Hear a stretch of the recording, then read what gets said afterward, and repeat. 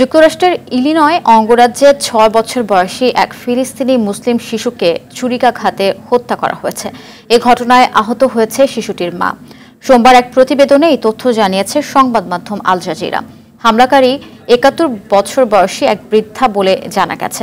ফিলিস্তিনের অবরুদ্ধ গাজা ভূখণ্ডে চলমান যুদ্ধে প্রতিক্রিয়ায় এই হামলার অভিযোগ আনা হয়েছে। এছাড়া এই হামলাকে মুসলিম বিরোধী হামলা বলেও অভিহিত করেছে মার্কিন পুলিশ। ওই বৃদ্ধার বিরুদ্ধে হত্যা এবং বিদ্বেষমূলক অপরাধের অভিযোগ এনে তাকে গ্রেফতার করা হয়েছে।